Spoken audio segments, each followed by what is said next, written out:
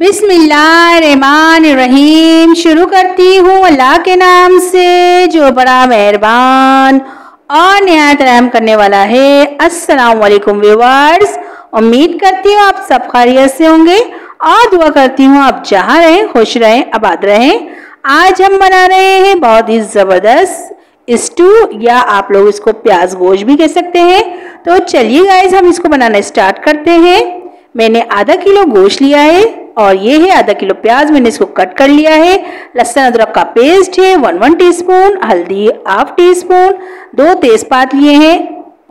नमक one teaspoon कुटी मिर्च टू टीस्पून धनिया पाउडर वन टीस्पून दालचीनी, लौंगे, इलायची, ये साबुत मिर्चें ली है मैंने। तकरीबन पाँच अदर थोड़ी सी हरी मिर्च इनको कट कर लिया है। टमाटर मैंने तकरीबन पाँच अदर लिए थे, इनको कट कर लिया है। तो चलिए गाय इसको बनाना स्टार्ट करते हैं। सबसे पहले मैंने आधा कप ऑयल जो है गरम करने रख दिया था कुकर में बना रही हूँ मैं ये। और इसमें सबसे पहले हम गरम मसाला ऐड कर देंगे। और गरम मसाले के बाद हम इसमें जो है थोड़ी सी देर इसको फ्राई करने के बाद इसमें प्याज ऐड कर देंगे। तो गाइज़ ये देखिए मैंने गरम मसाला सारा ऐड कर दिया है और तेज़पात भी इसी में डाल दिए हैं। और अब मैं इसको थोड़ी सी देर फ्राई करूँगी, ताकि ये अच्छे से इसमें से खुशबू आने लग जाए। फिर हम इसमें प्याज ऐड कर देंगे। ये देखिए गाइज़ मैं इसमें प्याज ऐड कर रही हूँ। और प्याज को जो है हमें लाइट ब्राउन करना है, पूरा ब्राउन नहीं करना है। तो गाइज़ जब तक हमारी प्याज ब्राउन हो रही है, आप लोग मेरे चैनल को सब्सक्राइब कर लें और बेल आइकन को दबाना ना भूलें ताकि आपको मेरी वीडियो बर वक्त देखने को मिले। और गाइज़ अगर आपको मेरी वीडियो अच्छी लगती है, इसे लाइक करें शेयर करें और कमेंट में मुझे ज़रूर बताया करें कि आपको मेरी वीडियो मेरी रेसिपी कैसी लगती है, ताकि मेरी भी हौसला अफजाई हो। और मैं आपके लिए बहुत ही आसान जो है रेसिपियाँ लेके आ सकूँ। ये देखिए गाइज़ हमारी प्याज जो है लाइट ब्राउन हो गई है। बस हमें इतनी ही करनी है। ज़्यादा हमें ब्राउन नहीं करनी है। अब मैं इसमें गोश्त ऐड कर दूँगी। ये देखिए गाइज़ मैंने इसमें गोश्त ऐड कर दिया है और गोश्त ऐड करने के बाद मैं इसमें लहसुन अदरक का पेस्ट भी इसी के साथ ऐड कर दूँगी। और इनको अच्छे से अभी हम फ्राई करेंगे। ये देखिए, मैंने इन दोनों चीज़ों को डाल दिया है। अब हम इसको अच्छे से फ्राई करेंगे। जब तक गोश्त का कलर नहीं चेंज हो जाता गाइज़ ये बहुत ही ज़बरदस्त बनता है। इस बकराइट पे आप लोग ज़रूर ट्राई करिएगा और ये बहुत ही जल्दी भी बन जाता है। इसको बहुत से लोग स्टू भी बोलते हैं और बहुत से लोग इसको प्याज गोश्त भी कहते हैं। तो गाइज़ अब इसमें हम मसाले ऐड कर देंगे जो हमने निकाल के रखे हुए हैं पहले से। ये देखिए, और जो है ये मैंने कुटी हुई मिर्च और धनिया भी ऐड कर दिया है। और अब मैं इसमें थोड़ा सा पानी ऐड करूँगी ताकि मसाले हमारे जले नहीं, जब हम इसको थोड़ी सी देर भूनेंगे। तो अब हम थोड़ी सी देर मसालों के साथ गोश्त को फ्राई करेंगे अच्छे से। गाइस जितनी जो है हम मसालों को भूनते हैं, उतना ही ज़बरदस्त फ्लेवर हमारे खानों में आता है। तो आप भी अच्छी तरह मसालों को भून कर खाना पकाया करें, ताकि आपके भी खानों में जायका हो और फ्लेवर बहुत अच्छे से निकल के आए मसालों के। ये देखिए गाइज़ मैंने इसको तकरीबन दो मिनट अच्छे से जो है फ्राई कर लिया है।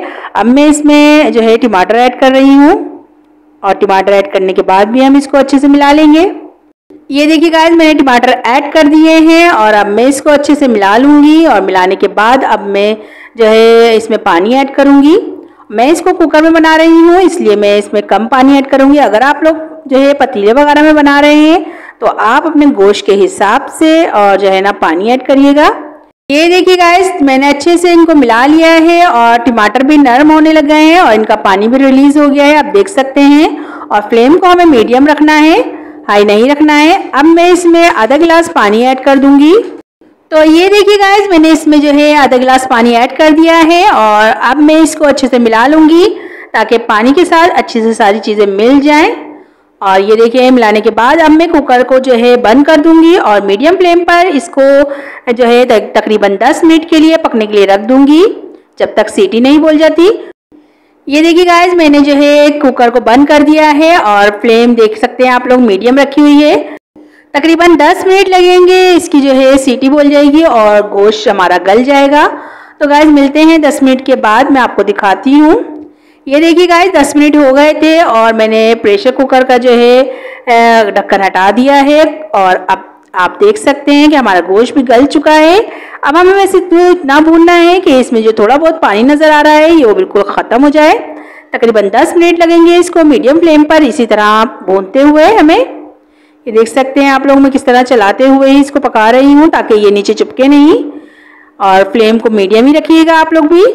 ये देखिए गाइस तकरीबन पानी इसका ख़त्म हो चुका है और अब हम इसमें हरी मिर्ची ऐड कर देंगे ताकि हरी मिर्ची भी अच्छे से पक जाएँ। और हरी मिर्ची डालने के बाद भी हम इसको थोड़ी देर और भूनेंगे। ये देखिए गाइज़ मैंने हरी मिर्ची ऐड करके अच्छे से इसको मिला दिया है और बहुत ही ज़बरदस्त इसमें से खुशबू आ रही थी। आप लोग भी इसको ज़रूर ट्राई करिएगा और मुझे बताइएगा कि आपको मेरी ये रेसिपी कैसी लगी। ये देखिए गाइज़ माशाल्लाह से हमारा सालन जो है बुन चुका है और ऑयल आप देख सकते हैं कि इसमें नज़र आने लग गया है और बहुत ही ज़बरदस्त लग रहा है, देखने से ही गाइज़ ये जितना देखने में अच्छा लग रहा है, इसके फ्लेवर भी बहुत ही ज़बरदस्त था। आप लोग इसको ज़रूर बनाइएगा, इस बकराइद और मुझे बताइएगा कि आपको मेरी ये रेसिपी कैसी लगी। ये देखिए, हमारा सालन जो है बुन चुका है ऑयल जो है इसमें नज़र आने लग गया है। अब हम इसमें हरा धनिया ऐड कर देंगे। और हरा धनिया डालने के बाद हम इसको मिला लेंगे अच्छे से। और ये देख सकते हैं आप लोग, मैंने हरा धनिया इसमें ऐड कर दिया है और हरा धनिया ऐड करने के बाद इसको मिला देंगे। गाइस बहुत ही ज़बरदस्त जो है ये बना था। ये देखिए, मैंने एक मिनट के लिए इसको कवर लगा दिया है। मैं दिखाती हूँ आपको फाइनल लुक ये देखिए गाइस माशाल्लाह से हमारे स्टू का फाइनल लुक कितना ज़बरदस्त लग रहा है। गाइस ये देखने में जितना अच्छा लग रहा है, खाने में ये उससे भी ज़्यादा अच्छा था। तो आप भी इसको ज़रूर बनाइएगा और मुझे बताइएगा कि आपको मेरी रेसिपी कैसी लगी। तो चलती हूँ दुआओं में, याद रखिएगा। इनशाला फिर एक ज़बरदस्त रेसिपी लेके आऊँगी। आपके लिए अल्लाह हाफिज़।